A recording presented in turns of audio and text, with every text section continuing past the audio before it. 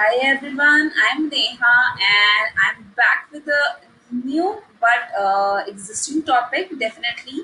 But since it's a new year, so I mean new year as in uh, you know the similar topic that was covered in 2017 2018 but i wanted to cover it again so that my users get to know that what is the latest uh, i mean what is the latest way of doing it so in today uh, i'm going to let you guys know that how you can update uh, your page username how you can update the category and how you can update the uh, name i mean the display name of your uh, particular page right? So let me just go back and just uh, give you a walkthrough a quick walkthrough. So just navigate to your uh, page right? So this is my page and when you see it on the left hand side there's a button called option basically an option basically. Just simply go on to about. So you'll be able to see the address uh, the messenger short url the phone number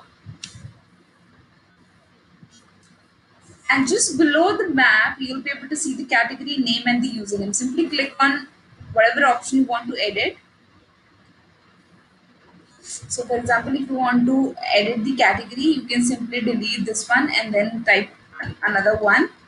Since I want to keep it like uh, for example travel and transportation travel agency I'm gonna again keep, it travel agency or maybe travel and transportation right? So I'll simply click on save right so the next thing is the display name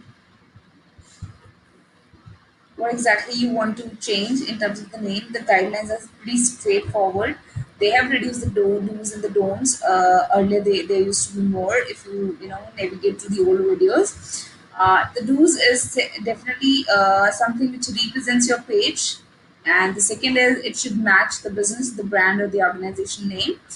While what you don't have to do is you know you don't have to uh, misrepresent a person or business or organization I mean, you are creating a page for an organization where you're not owning that organization. Secondly, uh, you cannot include any variation of the word Facebook or include the word official into the page name. For example, official Tri-City Travels or Tri-City Travel official Facebook page. Many people might type like that. So for that reason only, they have added as a don't.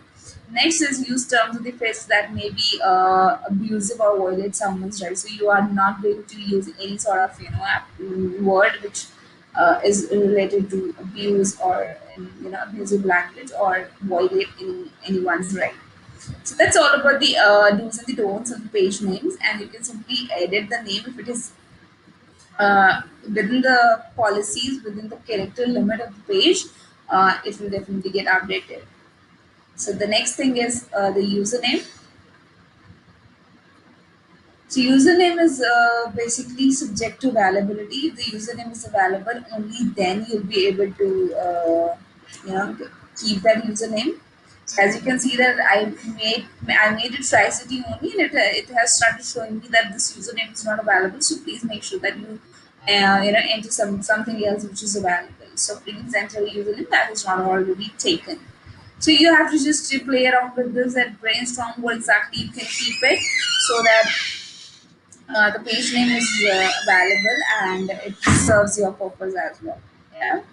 So that's all uh, uh, about changing the category, changing the name, and changing the username. So username is nothing but uh, something which comes into the URL. As you can see, if I go on to facebook.com slash tri-city travel, it's going to be my uh, username. It's it, it is being used into the page URL as well.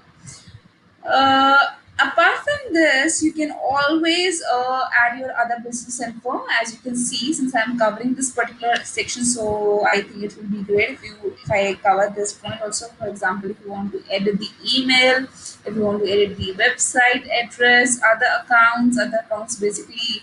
Uh, you know, I believe it must be any any other social media channels like Instagram, Snapchat, YouTube, Twitch, WhatsApp, Line, WeChat, etc.